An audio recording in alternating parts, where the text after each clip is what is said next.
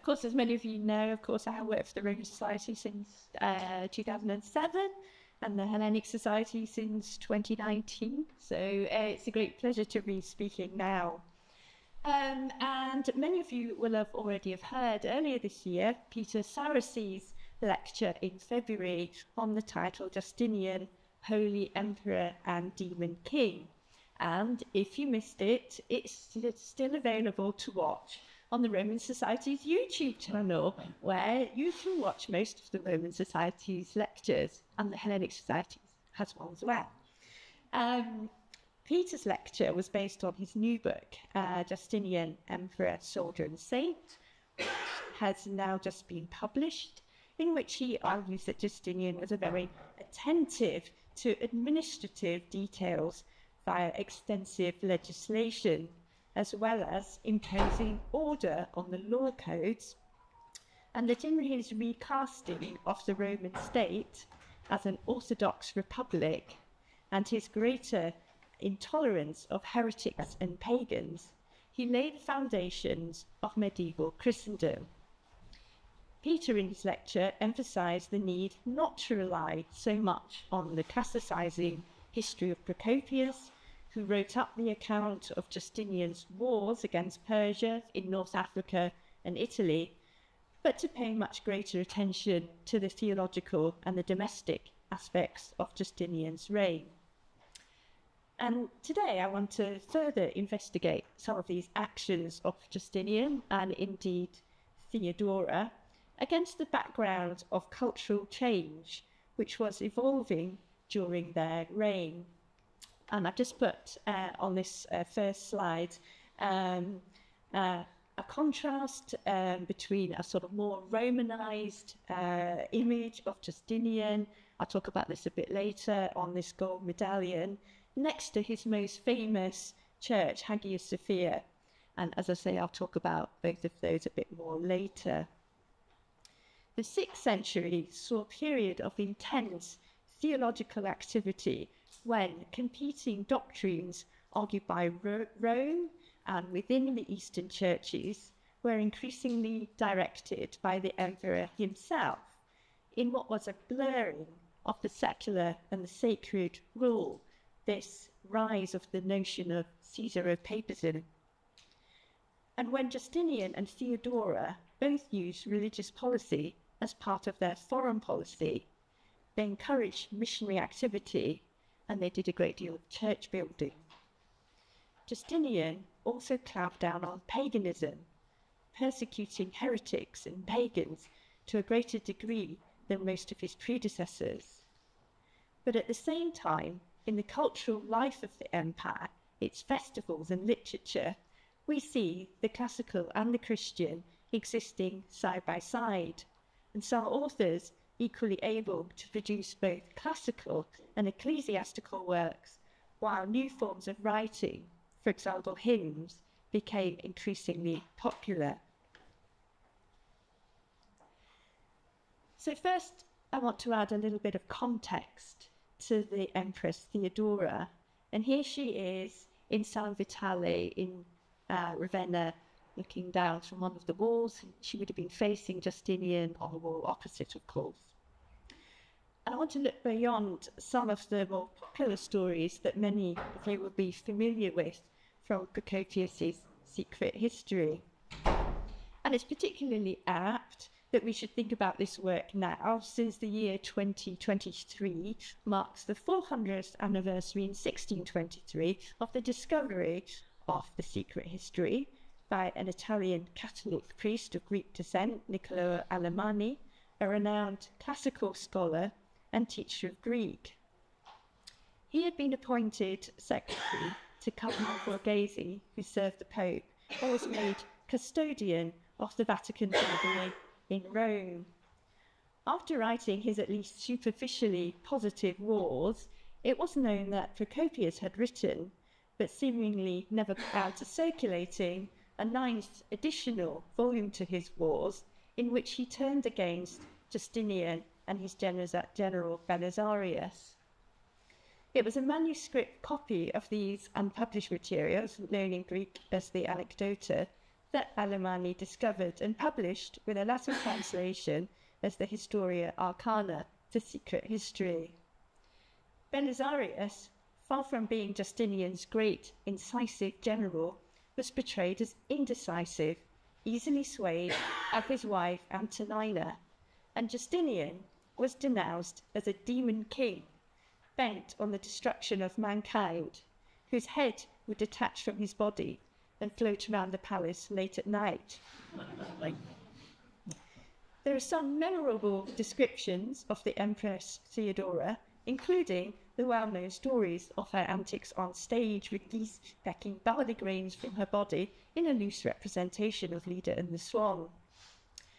We cannot totally dismissed the allegation that she was a prostitute as gossip from the hostile Procopius, since a brief reference from the sympathetic bishop, missionary, and historian John of Ephesus confirms her origins in a brothel. Theodora managed to escape from this life in the theatre as the concubine of a certain Hecabolus of Tyre, who had purchased the governorship of Cyrenaica, and she travelled with him as far as Alexandria. Here she would become familiar with the doctrine Miaphysitism, that is to say, those who believe that Christ has a single nature with a human and divine aspect. This was the exact opposite of Diophysitism, whose exponents believed that the divine and human natures of Christ were separate. Diophysitism had been adopted at the previous ecumenical council, the Council of Chalcedon, held in 451, and was accepted by the Church of Rome, but not all of the Eastern patriarchates. The Patriarch of Alexandria was a firm Miaphysite and was currently hosting, when Theodora visited, the exiled Miaphysite Patriarch of Antioch, the very powerful Bishop Severus. However, after a quarrel with Hecabolus, Theodora was left to make her way back to Constantinople, where she met Justinian, probably through her connections with the Blues. The Blues being one of the four certain factions, groups of supporters of different teams at the games, particularly for the chariot races held at the Hippodrome. Now, apart from questions about Theodora's somewhat uh, surprising meteoric rise, for which the law needed to be changed to allow Justinian, the senator, to marry a former actress, the more interesting questions concern the extent of Theodora's power and her influence over Justinian. She looked after the interests of her own family, making advantageous marriages for her illegitimate daughter, whom she had before she married Justinian, and her grandchildren, and her own sister was married to Justinian's friend, the general Sitas. She carried out acts of patronage, church building in Antioch, and gifting a precious cross decorated with pearls to Jerusalem. It is thought that she influenced Justinian's legislation, which sought to improve the status of women and to stamp out prostitution. And some of Justinian's laws, the novels, stipulate that the oath that they would carry out their duties should be sworn by officials to both the emperor and his wife. And we can see a celebration of their cold rule in the inscribed epigram in the church of St. Sergius and Bacchus in Constantinople, now known as the Little Hagia Sophia Mosque built in the 520s or the early 530s, so quite early in the reign of Justinian and Theodora.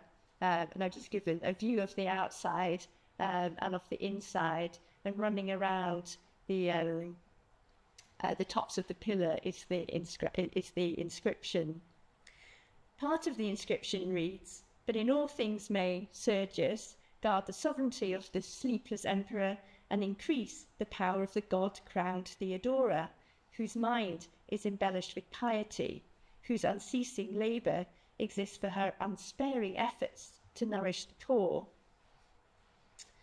So many of Theodora's actions look like the benign and innocent desires of a consort to support her husband in causes in which she took a personal interest. At other times, this support was less clear cut. She was responsible for the exile of Justinian's effective, if deeply unpopular, finance minister, John the Cappadocian, framing him in a plot to replace Justinian with his general Belisarius. And in two other areas of policy with far reaching consequences, views are divided as to the purpose behind Theodora's actions. So the first concerns Justinian's plan to restore Italy to under the rule of the Eastern Roman Empire from Ostrogothic control. Now, in the early 530s, in 533, Belisarius had set off for Constantinople to recover North Africa for Justinian, which he did so within a year.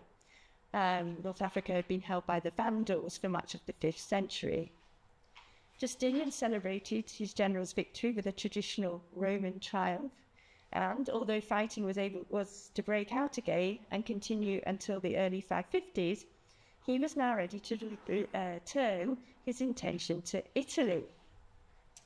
But on the throne was Amalasuntha, the daughter of the powerful Ostrogothic king Theodoric, who had been ruling Italy since the 490s, supposedly on behalf of the Eastern Roman Empire, um, and it, this is a portrait bust um, of someone who it's thought was Amalasuntha, um, which was uh, it's definitely dated to the late fifth, early sixth century, and it was found in Rome, quite close to the Lateran Basilica. Amalasuntha herself was a powerful queen, extending the territory of the Ostrogoths into the Balkans and engaging in talks with Justinian's envoy, Peter the Patrician. Her qualities are extolled by her praetorian prefect Cassiodorus, but her position was not unassailable.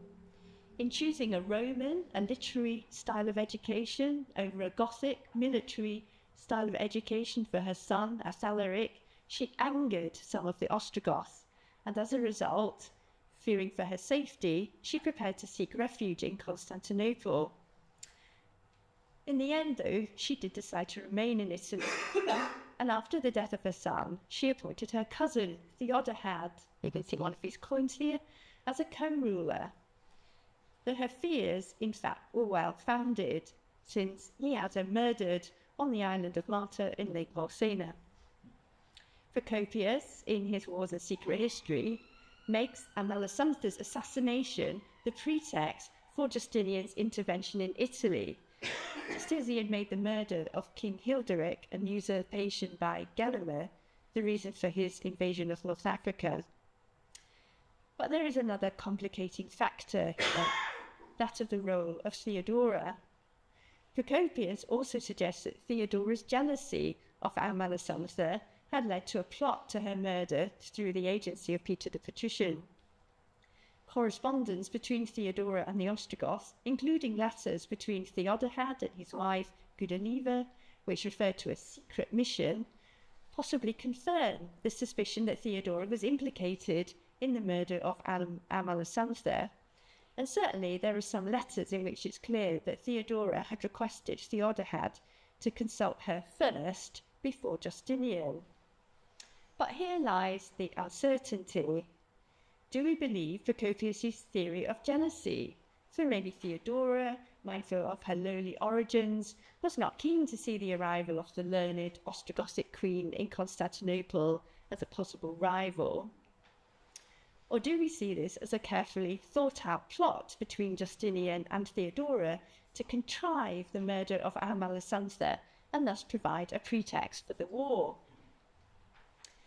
This was one particular occasion, albeit with far reaching consequences, when we have cause to question the role of Theodora. Running throughout their reign was the issue of doctrinal differences throughout the empire and between the imperial couple. I explained earlier how we think that Theodora came to take up the cause of Miaphysitism Justinian himself was an ardent Diophysite, an adherent of the Council of Chalcedon. Even before he became emperor, he had tried to work with the Pope to effect a reconciliation between Rome and the Church of Constantinople, which had been in schism for many years. Justinian's and Theodora's different views have been viewed with puzzlement today and also by their contemporaries. She housed up to 500 Miaphysites in her palace in Constantinople and built refuges on Chios and in Thrace for banished Miaphysite clergy. And on one occasion, as we'll hear a bit about later, she even sent out a rival missionary delegation. Did they really fundamentally disagree, or was this another carefully stage managed piece of clever co rule? It is possible that Theodora's support for the Miaphysites meant that they were less likely to rebel against Justinian, allowing him to favour the pro Chalcedonians and therefore to maintain peace with the Church of Rome. So here we come to the next part of uh, this uh, talk. Justinian as God's representative on earth. Um, and here is an image of Justinian looking a bit more like a Christian emperor, um, as I'll say a bit more about later. So successive emperors from Constantine onwards had sought to find solutions to the doctrinal divisions and church organisation between the East and the West, and within the Eastern Patriarchates of Antioch, Alexandria, Jerusalem, and Constantinople. To Justinian, unity was of the utmost importance, as he sought to unite the East and the West politically, and to claim his divine right to rule. It would take a long time to go through in detail all of Justinian's actions to try to reconcile the Miaphysites and the Diaphysites, but he did host seven meetings in Constantinople between them. He composed an Edict of Faith, and in 553 he called the Fifth Ecumenical Council in Constantinople. For this council, the Pope Vigilius had been escorted from Rome as early as 545 to lend his support, although this was hardly forthcoming willingly. During his reign, we can see Justinian becoming increasingly autocratic in his desire to find or impose a solution, dismissing popes and patriarchs and appointing those more favourable to himself. The Pope Vigilius had to protest at some of these, although he himself had benefited from Justinian's interference in papal appointments in the past. The importance of theology to Justinian can be seen in his legislation, where he often reiterates his divine right to rule in the prefaces to his novels. For example, in one of them, he says, From the time when God set us up to reign over the Romans, we've been making every effort to do everything to help the subjects of the state entrusted to us by God, and doing whatever may free them from every difficulty, harm, and grief. Thus, for litigation and other reasons, they are forced to depart from their homeland and suffer overseas. He felt responsible for legislating on church matters, addressing laws to patriarchs and in bishops on ecclesiastical discipline. And it wasn't all idealistic. Some measures had practical consequences. A number of novels strengthened the position that ecclesiastical property was inalienable, arguably at the expense of lay aristocratic landowners with whom Justinian had clashed. Pursuit of orthodoxy could also be used as an excuse for war, such as reclaiming North Africa from the Vandals, who were seen as Arian heretics. Another practical way in which religious policy and secular rule coincided was in the way that Justinian managed his foreign policy using religious conversion and acculturation to secure the loyalty of those on the periphery of his empire. Along the eastern frontier in the north, um, there's a map there just uh, um, for the geography. Um, in competition with the Persians for the loyalty of Lazica, an important place strategically, in the 520s, Justin had provided a lavish reception for their king, King Tzath, in Constantinople, when he was baptized and endowed with the regalia of office, and Justinian repeated the same exercise when he bestowed the traditional regalia on Tzath II, following the murder of his brother Gubazes. And while the king Gubazes might have been tempted to defect to the Persians on occasion, their dislike of the Persian religion of Zoroastrianism proved to be a more powerful incentive to staying with the Romans. Shared beliefs also helped to encourage the allegiance of the Iberian king Gurgenes, and Justinian used conversion in controlling some of the neighbouring Caucasus people, such as the Tsali and the Abasci. At the southern end of the frontier, Justinian also sought to use one of the influential Arab groups, the Jaffnids, against the Arab client tribes of the Persians, the Nasrids. Interestingly, in 542, Theodora, at the request of the Jaffnid leader Al-Harith, sent two bishops to provide suitable care for the Miaphysites of Syria and Arabia. One of the bishops was one Jacob Baradaeus, who went on to become one of the foremost Miaphysite leaders responsible for the conversion of huge numbers of Arabs. And some have questioned why Justinian would not have been disturbed by this development when he otherwise devoted a great deal of time promoting Diophysitism. However, here I think we need to see this as a measure of Justinian's pragmatism. On the volatile eastern frontier, it was most important to keep the Jaffnids within the Roman political orbit by any means possible. On the Egyptian frontier, a similar situation arose with the emergence of the Kingdom of Nobadia. Responding to a request to send missionaries, it's very likely that Justinian saw the conversion of the Nobadai as a means to securing peace on the southern Egyptian frontier, and as part of his mission to bring civilization to barbarians, and he arranged to send ambassadors with gold and baptismal gifts and gifts of honour for the king, and letters for the Duke of the through whose territory the delegation would pass. His delegation was strictly orthodox and believers in the Council of Chalcedon.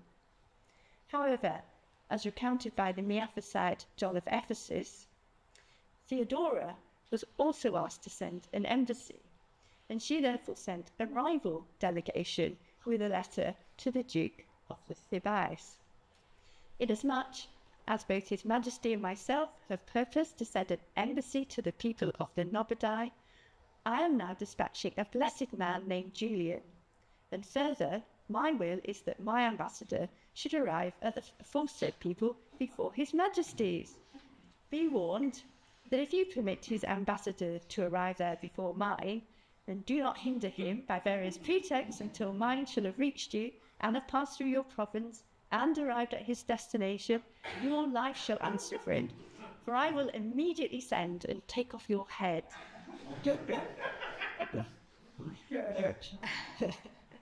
and uh, what Justinian thought about this rival delegation. We don't know. It's not recorded. yes.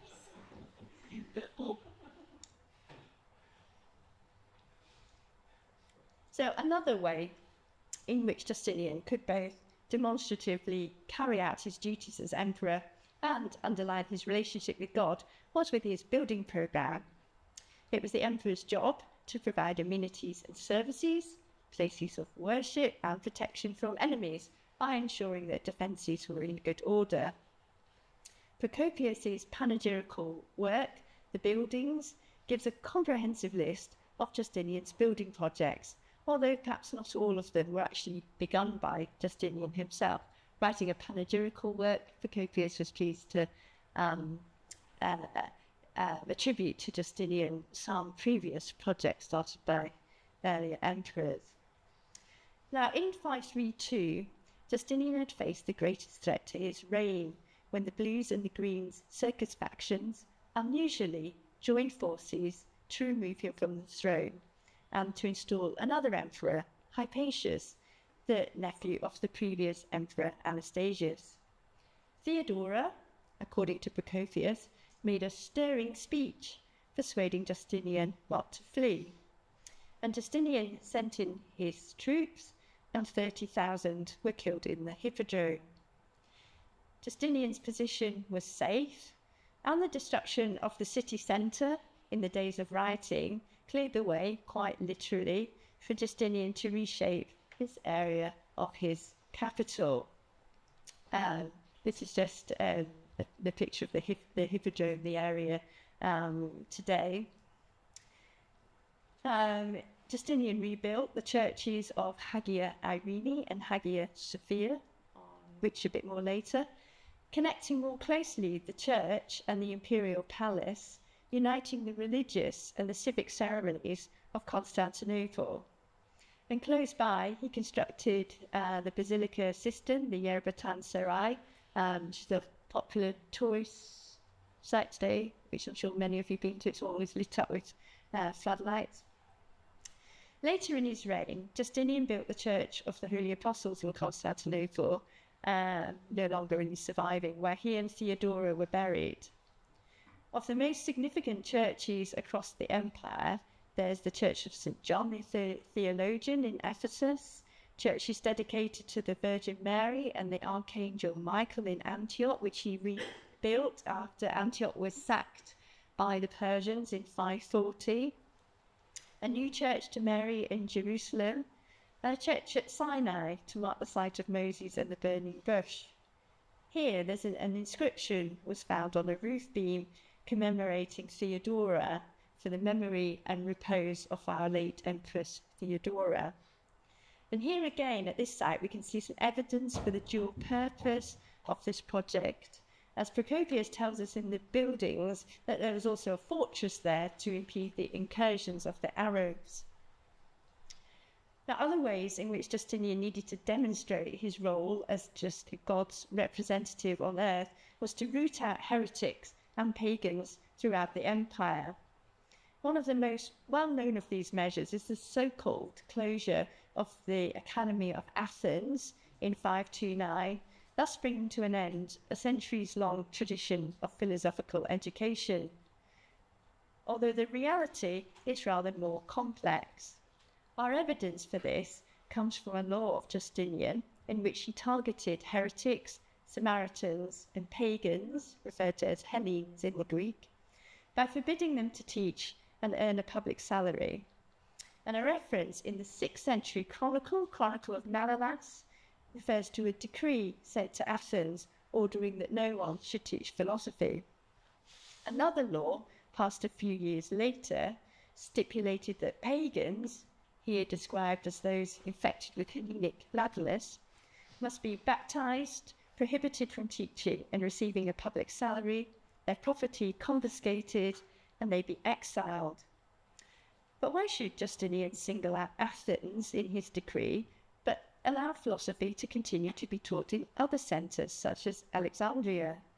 And did this mean that there was no more philosophy at all in Athens? It's important to note that the philosophers who did leave Athens, there were seven of them, they tried uh, going over the border to Persia. It's important to note that they were all pagans. Christians were quite at liberty to stay and teach philosophy.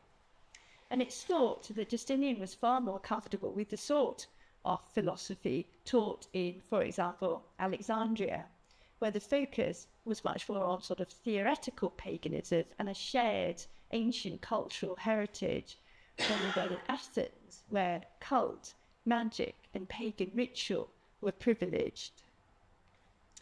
Another episode, which is far from clear cut, is Justinian's actions towards Philae in Egypt, where the gods Isis and Osiris were still worshipped. Procopius suggests that the general Narses, set by Justinian, brought down the sanctuaries on the order of the empire, put the priests under guard, and sent all the statues, the pagan statues, to Byzantium. But again, we can question some of the details of this account because uh, the temples are quite, still quite well uh, preserved um, we've got um, a, a, an, an, image of a, a, Christian cross carved into um, a column. So it isn't the case that the um, temples were completely destroyed. And we know that there was a bishop there, at least we know definitely in the fourth century. So it shows a much more fluid picture there. It isn't the case that this was just a pagan site abruptly brought to an end by Justinian, and it was more likely to be something more like a sort of symbolic closure. But we do know that there was three waves of persecutions in especially focused in the capital. As early as 527, perhaps to make a point at the beginning of his reign, a law was passed introducing measures against heretics and pagans who were barred from holding high office or inheriting an estate. Investigators found a number of high profile figures, but although one committed suicide, we don't actually hear of any executions. In 546, in this case, perhaps to reassure himself of God's favour, after a series of disasters, the 540s a uh, period of when the plague struck, and as a result there were food shortages, there was earthquake damage. Um, a second investigation was conducted, focusing on outing prominent senators, grammarians, lawyers, and physicians. And towards the end of his reign in 562, again, this was a year marked by rioting and conspiracies against the emperor, there was a third investigation when several priests in cities throughout the empire were arrested and cult statues were destroyed and some sacred writings publicly burned. Um, so it seems that Justinian didn't have a sort of overall program of persecutions, but that he sort of responded to perhaps when things were, he felt that things were not going so well in his empire. He thought this was a sign of God's disfavor and that he should, he should react. But even these persecutions, sort of, they don't amount to a sustained anti-pagan policy. Um, and as I come to sort of the third uh, section, that of cultural change, um, I'm showing you here, um, it's basically two images for contrast. Um, so we have um, a gambling machine um, that um, was um, from Constantinople, uh, depicts the um, depicts the chariot races. Um, the idea is that, that you could put uh, coloured balls of the reds, whites, greens, and blues into the top, um, and as a chance, whichever one would reach the bottom first um, uh, would win. These kinds of things were um, banned in about 534. Um, but this was, was from about that period. Um, and I'm just juxtaposing that with a picture of Hagia uh, Irene, one of the churches which uh, Justinian rebuilt after the Nika riot in 532. Now, when it comes to forms of public entertainment, Justinian found himself in a difficult position since the old adage of keeping the populace happy with bread and circuses remained true, despite the patent disapproval of the church for the immorality of the theatre and the pagan associations of the festivals. The Bishop of Batnai, a priest called Jacob of Sarug, composed a large number of homilies, about 700, including lines such as Satan wishes to set up paganism by means of the play, arguing to Christians who claim that this was just innocent entertainment. Who can wallow in mud without being dirty? Yeah. Um, despite being God's representative on earth, Justinian's policy towards public entertainment was very much guided by political expediency. Back in 521, he had celebrated his consulship with extravagant games, including the exhibition of wild beasts 20 lions and 30 pouncers, we are told by the chronicler Marcellinus Comines, even though these wild beast shows had in fact been banned by the previous emperor Anastasius.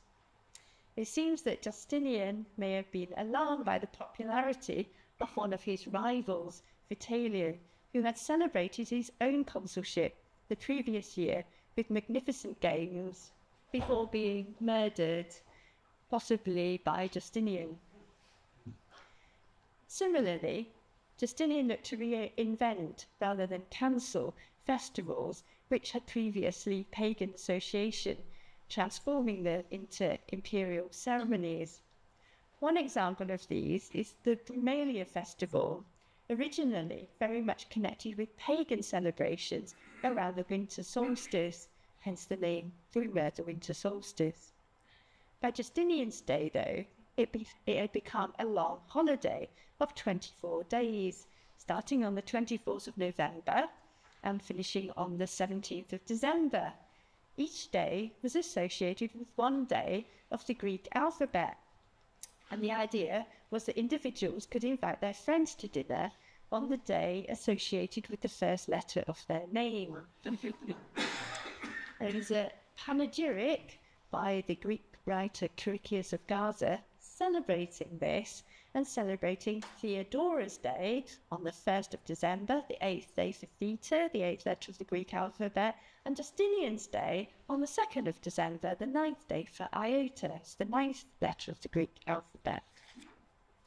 By the 10th century, this festival had become very much part of the imperial calendar of events, with the emperor rewarding his, official, his officials with bags of gold in alphabetical order um, before receiving the acclamations of the people. As with this gradual rebranding of pagan festivals, we can also trace changes in imperial ceremonies for example, in 534, Justinian celebrated his victory over the Vandals with something like an old Roman triumph, and a mural painted on the ceiling of the vestibule of the imperial palace depicted the imperial couple approached in supplication by the defeated Vandal king. We have a description of it from Procopius, even though obviously it doesn't survive. Towards the end of his reign, though, in 559, Justinian marked his victory over the Kutrigurs. This was a sort of a Turkic tribe who had threatened um, the walls uh, to the north of Constantinople.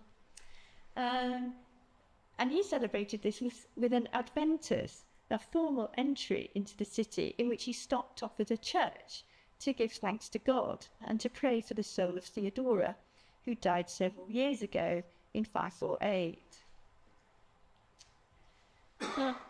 Portrayals of Justinian also changed over time. Few survive, but they appear to combine elements of the Roman imperial tradition with new features designed to highlight his closeness with Christ. This massive gold medallion of Justinian, dating to 534 to 5, um, is an example of this. This is um, because the original had disappeared in 1831. A cast survived from which some electrotypes were made, um, this is the one in the British Museum. On it, Justinian is presented as a Roman emperor wearing a breastplate, military cloak, diadem topped with a plumed dress helmet. And on the reverse, he's pictured sitting astride a horse with winged victory, carrying a palm frond and captured weapons. The legend describing him as the salvation and glory of the Romans. On the other hand, we hear from Procopius of a lost colossal equestrian statue of Justinian, which had stood in the centre of Constantinople. We don't know, uh, we have Procopius' description, and we also have this 15th century drawing now in Budapest.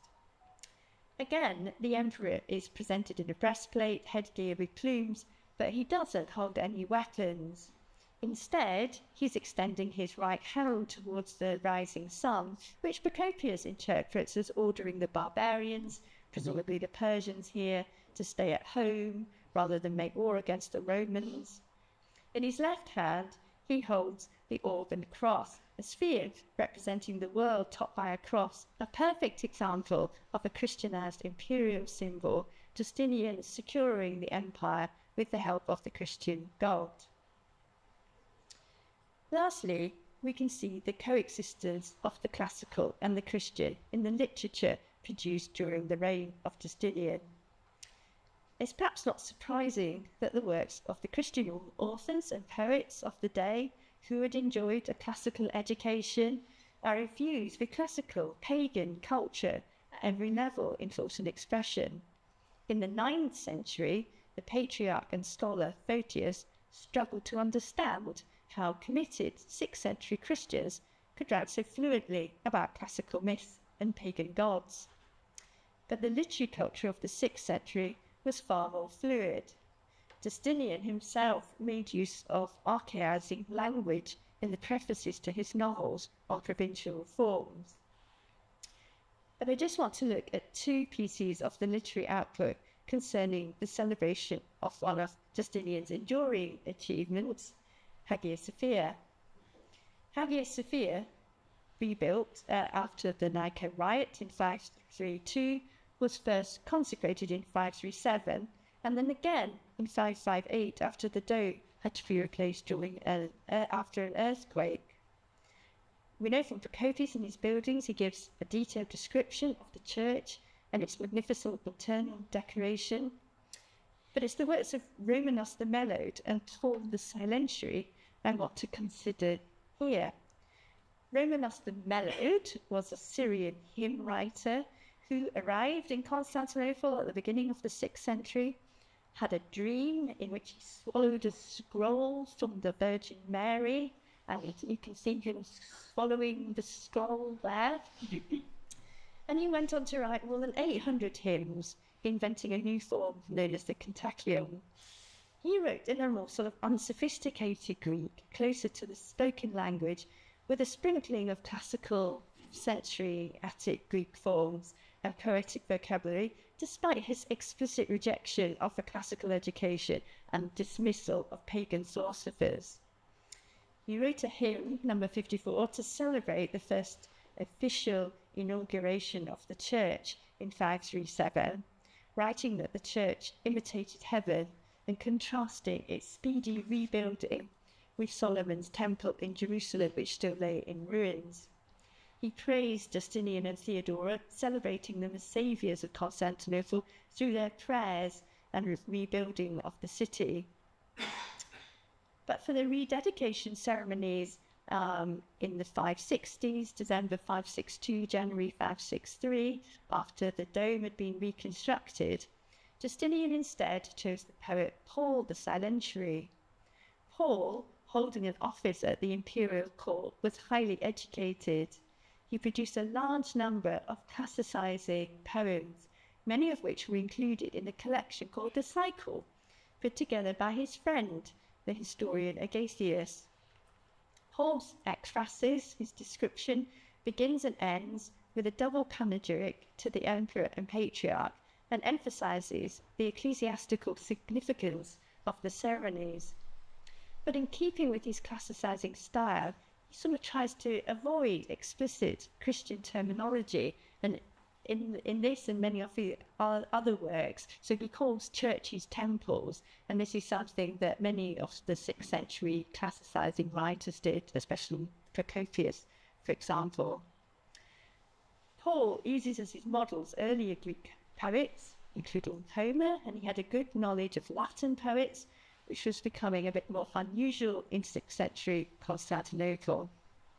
He imagines in his description that Justinian is visited by Roma, the personification of New Rome or Constantinople, who encourages him to build the church after the collapse of the dome.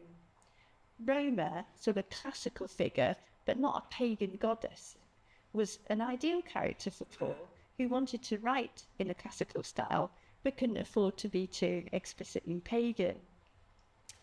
It's thought that in his choice of Paul, Justinian betrayed his earlier ambition to leave the city and his reign with the splendours of the classical past. So, in conclusion, there are many paradoxes in the reign of Justinian. He showed an increasing interest in theology and staged several waves of persecutions against the pagans and heretics, but he used the past and the ideal of restoration to justify his wars his provincial reform legislation and to promote his capital. My view of Justinian is that he was above all a pragmatic emperor. He may have been God's representative on earth and a genuine Diophysite himself, but as with how he managed his joint rule with Theodora, his measures were driven by expediency, protecting his borders, a need for unity throughout the empire, and keeping his subjects entertained religious policy was inextricably linked with foreign policy, but the classical past of the empire was hard to escape, leading to a demonstrable overlapping of the classical and the Christian in the cultural life of the empire throughout his reign. Yeah.